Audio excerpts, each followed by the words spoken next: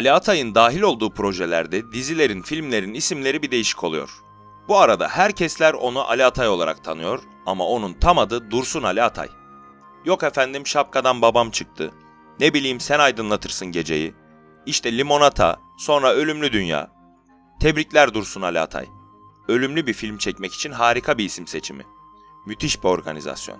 Hep bir adım öndesin.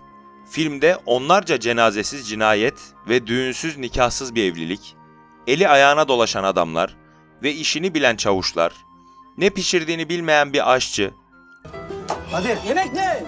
Yemek neydi? Oğlum sen bilmiyor musun lan akşama kadar ne pişirdiğini? Allah. Hangisi abi? ava giderken avlanan avcılar, kaçmalar ve kovalamalar had safhada bir uyum içinde. Filmde insanı sahnelerin içine çeken bir hipnotizma, bir manyetizma, bir karizma var. Hadiseler aşure tadında anlayacağınız. Uluslararası bir şebekenin Türkiye çeşmesi olan kiralık katil bir ailenin hallerine kana kana gülüyoruz yani. Gülmeyenler ivedilikle buradan uzaklaşsın. Filmin türü için bazı çok bilmişler suç komedisi demişler. Bu filmin ait olduğu bir tür yok arkadaşlar. Bu film başlı başına bir tür. Filmin türü 79 milyon insan için Feyyaz'ın oynadığı film vardı ya hacı. Her gece yeminler ediyorum. Bıçak kemiğe dayandı. Çak kemiğe dayandı. Her gece yeminler ediyorum. Her gece.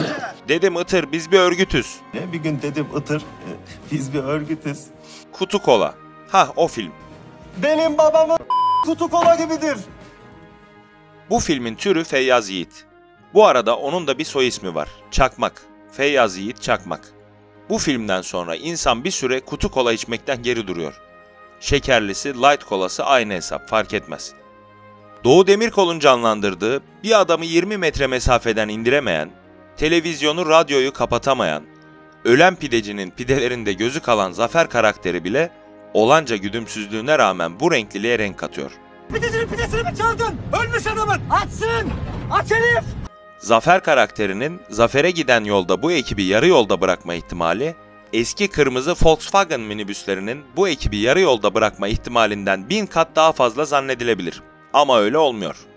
Bir şekilde onu idare ediyorlar. Bu film eğer bir aşure ise, aşuredeki yanık kokusu da Zafer'dir. Yanık manık, aşure on numara. Böyle bir suikastçı görülmemiştir. Adam gerek mental anlamda, gerek medikal anlamda tam bir arıza. Hayatımda bir kadın var.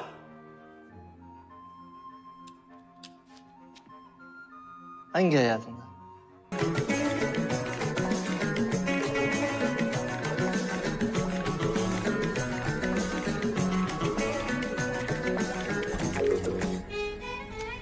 Zafer. Zafer. Zafer. Manyak mısın? Gel buraya. Zafer. Zafer. Gel. Zafer'e arıza diyorsak serbeste ne demeli? Feyyaz'ın oyunculuğunu totale vurduğumuz zaman ortaya çıkan şey filmin sonunda çalan Rasputin şarkısına benziyor. Ra ra Rasputin, fe fe Feyyaz Yiğit. Güldürüklü, enerjik, kendine has ve taklit edilemez. Gerçi Feyyaz Yiğit, kardeşim ben oyuncu falan değilim. Normalde nasılsam filmlerde de öyleyim diyor ama yemezler. Çok teşekkür ederim.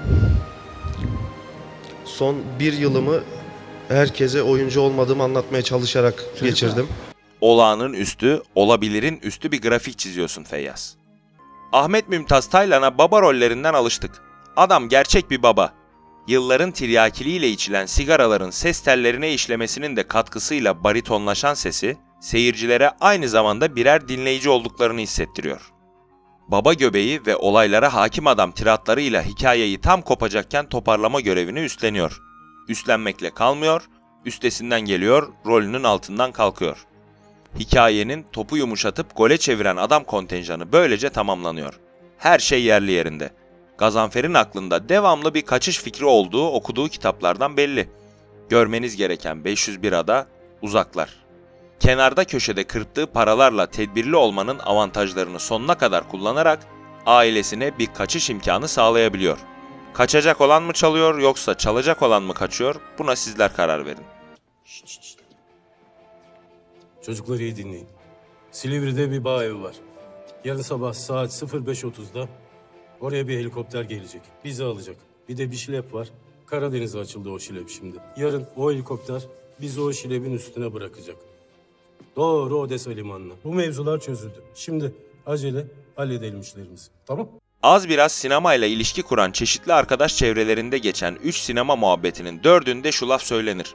Türkiye'de kadın oyuncu yok. Bizden kadın oyuncu çıkmıyor. Filmde iki kadın var, ikisi de oyuncu. Bu kadar. Itırı da saydık mı 3 oluyor gerçi. 3 tane 3 rakamı ama üçüncüsü küçük 3. Gelelim Tınaz abiye. Oktay abi kusura bakma senin adın Tınaz. Alper Kul tipi komik gillerden bir aktör olarak her ne kadar kardeşlerinin türlü deyusluklarıyla çileden çıksa da biz onu çilede saymaya devam ediyoruz. Babasının endişelerini anlayabilen neredeyse tek karakteri canlandırıyor. Onu kel başından kocaman öpüyoruz. Pasaportlarınızı yakarım diyor. Pasaportları yakmasın.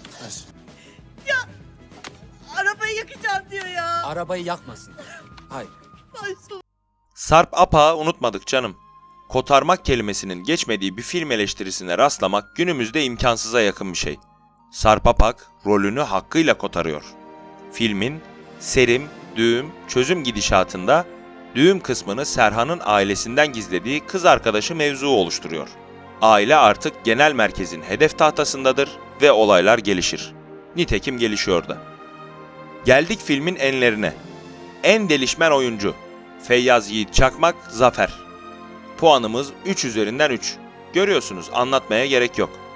Diyor ki bu iş diyor ya böyle olacaksa olacak ya da olmuyorsa sizin de olmaması gibisine bir yerlere bağladı. Evet. Yavrum biz burada yaşam mücadelesi veriyoruz. Bunun sırası mı şimdi? Abi böyle bir durumda bu ne kadar doğru? En akıcı sahne sorgu sahnesi.